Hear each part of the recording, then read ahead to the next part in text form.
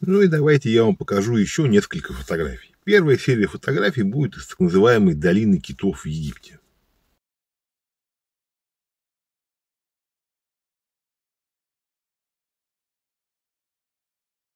Долина китов – это место в пустыне, где прямо на поверхности, не засыпанные песком, лежат кости давно вымерших морских млекопитающих.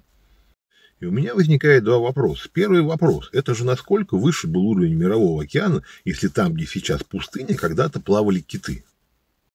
И второй вопрос. Почему, например, того же египетского сфинкса пришлось откапывать, потому что его занесло песком практически по шею, а те же кости, которые, как нам говорят, гораздо старше сфинкса, лежат на поверхности? Ну и вторая серия фотографий будет уже из Америки.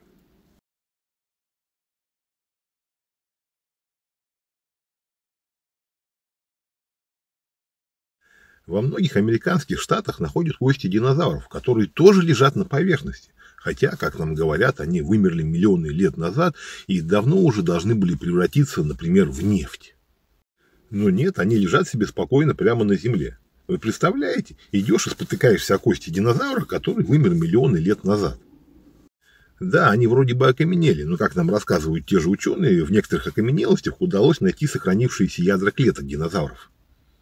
Я, например, не понимаю, в результате каких процессов, которые происходили когда-то на Земле, получилось так, что дома, которым сотни или тысячи лет, приходится откапывать из-под песка или из-под глины, а кости динозавров или древних китов, которые, очевидно, гораздо старше, лежат прямо на поверхности.